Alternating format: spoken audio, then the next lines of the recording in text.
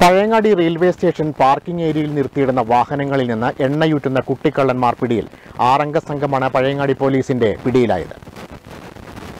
Pazhayangadi railway station parking സ്ഥലത്ത് നിർത്തിയിടുന്ന വാഹനങ്ങളിൽ നിന്ന് വ്യാപകമായി പെട്രോൾ മോഷണം നടത്തുന്ന ആറ് കുട്ടിക്കള്ളന്മാരാണ് പിടിയിലായത്. പഴയങ്ങാടി പോലീസിൽ ഡിവൈഎഫ്ഐ മാടായി സൗത്ത് മേഖലാ കമ്മിറ്റി പരാതി നൽകിയതിന്റെ അടിസ്ഥാനത്തിൽ പാർക്കിംഗ് മേഖല ഡിവൈഎഫ്ഐ പ്രവർത്തകർ നിരീക്ഷിച്ചു വരവെയാണ് പെട്രോൾ മോഷ്ടിക്കുന്ന ആറംഗ സംഘത്തെ പിടികൂടിയത്. പഴയങ്ങാടി മുട്ടം നെരുമമ്പ്രം ഭാഗങ്ങളിലെ കുട്ടികളെയാണ് പിടികൂടിയത്. ഇവർ കാറുമായി എത്തി പല വാഹനങ്ങളിൽ നിന്നാണ് മോഷണം നടത്തുന്നത്. കാറിൽ മോഷ്ടിച്ച പെട്രോൾ നിറച്ച പത്തോളം കുപ്പികളും പെട്രോൾ നിറക്കാനാവശ്യമായ നിരവധി കുപ്പികളും കണ്ടെത്തി. മോഷ്ടിച്ച പെട്രോൾ ഇവർ വിൽപ്പന നടത്തുന്നതായും കുട്ടികൾ പോലീസിനോട് പറഞ്ഞിട്ടുണ്ട്. മുൻപ് രാത്രികാലങ്ങളിൽ മോഷണം നടന്നുവെങ്കിൽ ഇപ്പോൾ പകൽ സമയങ്ങളിലും മോഷണം നടക്കുന്നുണ്ട്. വിജനമായ രണ്ടാം പ്ലാറ്റ്ഫോമിലെ പാർക്കിംഗ് സ്ഥലത്ത് നിന്നാണ് മോഷണം കൂടുതലായും നടക്കുന്നത്. ഇവിടെ സി സി ടി വി ഇല്ലാത്തത് മോഷ്ടാക്കൾക്ക് ഗുണകരമാകുന്നു.